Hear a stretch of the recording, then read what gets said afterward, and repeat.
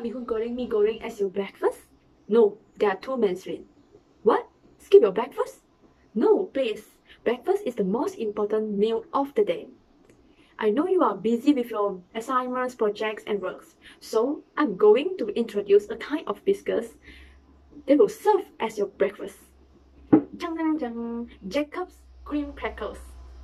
This kind of biscuits comes with different types of nutrients and provide low calories for our body.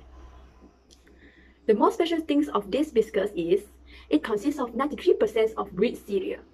Its nutrition offering comes with the delicious taste of wheat cereals. Let me show you how it looks like. This is how it looks like. It has a very crunchy texture. Let me have a test for you. Taste of wheat cereal. Good taste, but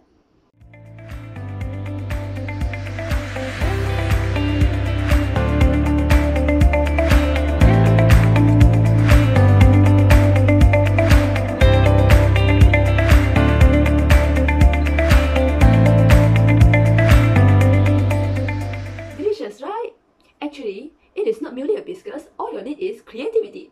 Also, not to mention that Jacob's Cream Crackers suitable for vegetarians. It is made by non-hydrogenated vegetable oil that is available for vegetarians and also recommend for those at risk of heart disease. So, go and grab it at any supermarket store. Let it tickle your taste bud. Challenging today, Jacob's Cream Crackers reinventing your tomorrow. Thank you for watching.